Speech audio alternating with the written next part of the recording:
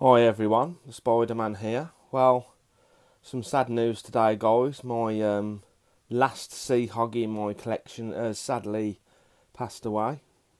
Um, it's in death curl. It was perfectly fine uh, a few days ago.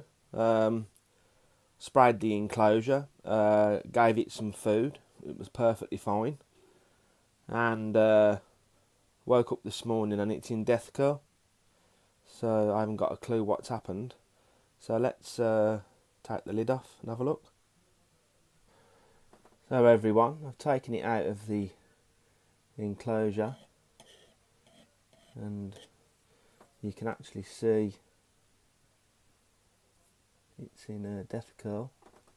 Let's just and this what happens when tarantulas actually die, they actually curl up their um, legs, um, just like curl up the legs like that. Um, yeah, like I said, it was perfectly fine a few days ago. It was eating perfectly fine. Um, sprayed the enclosure with uh, water. And I did have another one of these, and that one died as well. So absolutely gutted. This one's died as well. I got these from the uh, British uh, Tarantula show. So yeah, there's no uh, nematoids or infection or anything like that on there.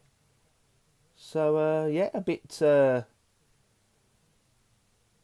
missed, a bit upset boy it's died. Um, as I say, not really much I can do, I'm afraid. So, yeah, I'll uh, I'll bury it bury it in the garden and uh, wish it farewell. As you can see, everyone, I'm in the garden. So I've dug a little burrow for it. I've got this in this little pot here, so I'm going to take it out of the pot. And uh, rest in peace little one. Let's just dig it back over.